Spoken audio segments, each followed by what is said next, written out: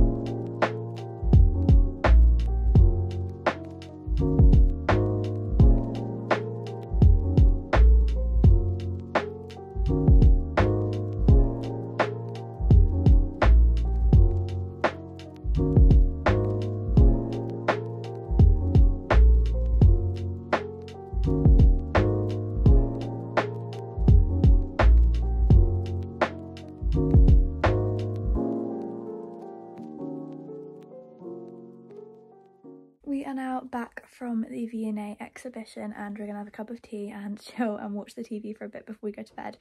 Um, but I had a really nice day with my mum and we also just kind of like looked around the museum as well because the different outfits were in different parts of the museum so it meant that when we were walking around we kind of saw loads of different bits of the museum as well which were really nice and me and mum both said that we'd like to go back and actually have a look around the museum properly so we could definitely do that one day.